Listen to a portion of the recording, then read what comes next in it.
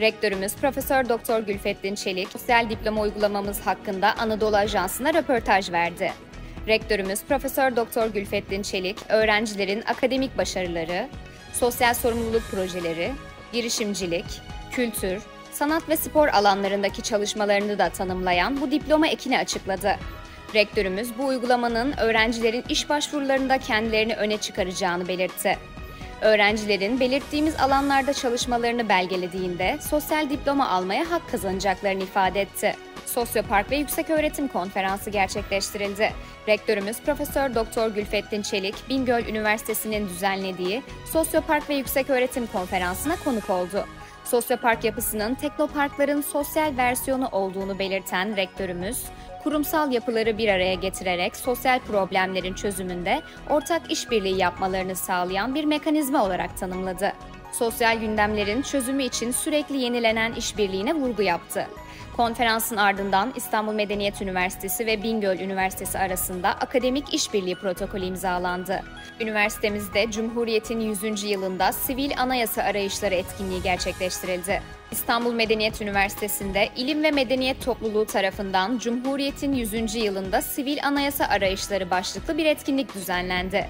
Program, sivil toplumun anayasal değişiklik süreçlerinde daha aktif bir rol almasını sağlamayı amaçladı.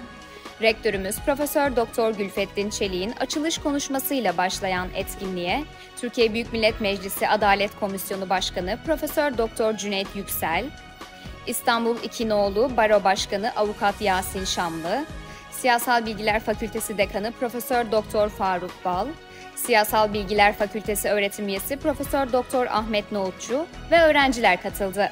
Rektörümüz anayasanın üst kanun norm olduğunu ve sürekli değişebileceğini belirterek Türkiye'nin yeni anayasa hareketliliği içinde olduğunu vurguladı.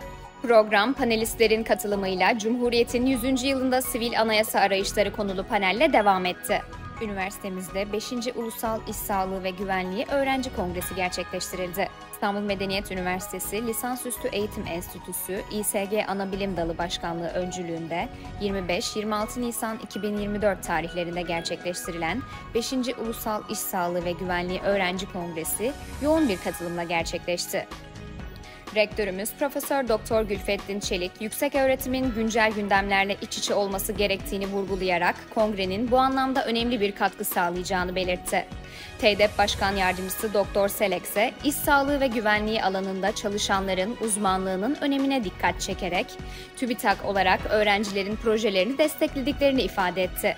Açılış konuşmalarının ardından rektörümüz Doktor Hasan Selçuk Sele günün anısına hediye takdim etti.